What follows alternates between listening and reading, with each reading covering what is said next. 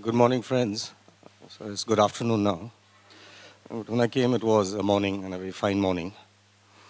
Um, I was very pleasantly surprised uh, once I entered the, the red door of this center because seeing the modernity and seeing the design and seeing the, you know, the vision and uh, the collection taken from some archive of all the photographs which are historic, showing our prime ministers, their China's prime ministers together. It's uh, extremely memorable and something that is uh, historic.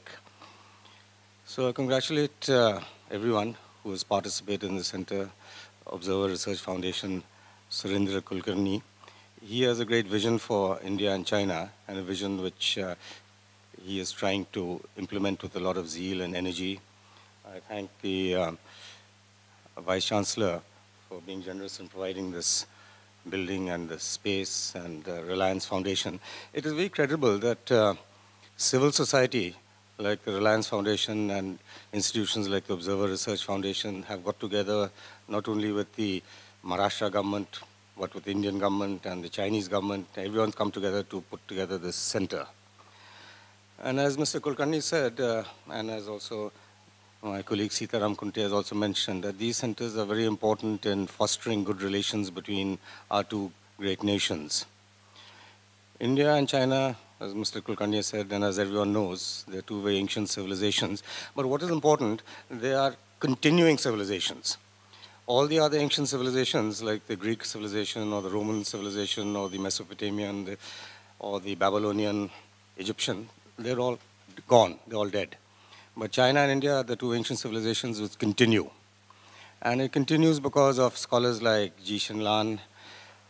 In earlier times, you had uh, scholars like Fa Hien, Yun San. They crossed the Himalayas and they studied. They were Indologists, so they came to study Buddhism, they came to study Indian culture and language. They went to the University of Nalanda. So now we are reviving that tradition. Um, it is like what Chairman Mao has said, this center is a great leap forward. Or he might even say that this is a great cultural revolution by establishing centers like these. And uh, I'm happy to also learn that there's a lot of uh, exchange between students from China and India because these students will become our future ambassadors of goodwill between our two nations.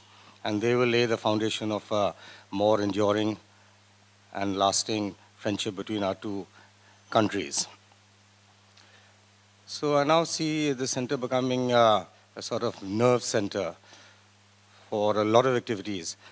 And uh, I must say that the Consul General, uh, as long as here, he is here in Mumbai, he will make sure that the center has, is living up to its potential. Because I've noticed uh, he has done a lot on his own to improve relations between our two countries. He's brought down a lot of delegations from China, which I've had the privilege of receiving. A lot of VIPs have come to China. He's organized trips of our leaders. We just saw the holy water diplomacy, which is entirely his initiative, bringing the holy water of Manasarovar and putting it into the holy waters of uh, the Godavari during the Kumbh Mela, so that makes it ultra holy. This is something very creative, and uh, I congratulate him for that. So there are a lot of initiatives that uh, we can take, and this center, I'm sure, will generate a lot of new ideas on how we can bring our two countries together, and we must revive the old uh, concept, or the old slogan of Hindi Chini Bhai Bhai. Uh, it, it, should never become Hindi Chini Bhai Bhai, it should always be Hindi Chini Bhai Bhai. And um, I look forward to the day that this uh, center will be inaugurated. We'll come again and we shall keep a close uh, watch and we'll try to help. Because my job as uh, the chief of protocol is something like uh, being uh, um, the foreign secretary for Maharashtra. And that is how to increase the goodwill between nations, how to make this world a better place, a more peaceful place. And that can only happen if we understand each other better.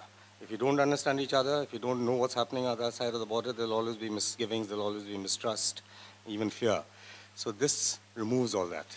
It brings about greater understanding. We, we know, we'll learn their language, their culture, they will learn our language, our culture. We'll know how they think, they'll know how we think.